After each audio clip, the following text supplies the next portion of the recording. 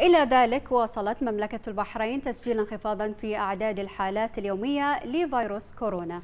نعم فقد أعلنت وزارة الصحة في آخر إحصائية لها تسجيل 23 حالة قائمة جديدة منها 11 حالة لعمالة وافدة وتسع حالات لمخالطين لحالات قائمة إضافة إلى ثلاث حالات قادمة من الخارج. في حين لم تسجل أي حالة وفاة خلال اليوم. هذا وأعلنت الوزارة تعافي 24 حالة إضافية ليبلغ العدد الإجمالي للحالات القائمة 239 حالة.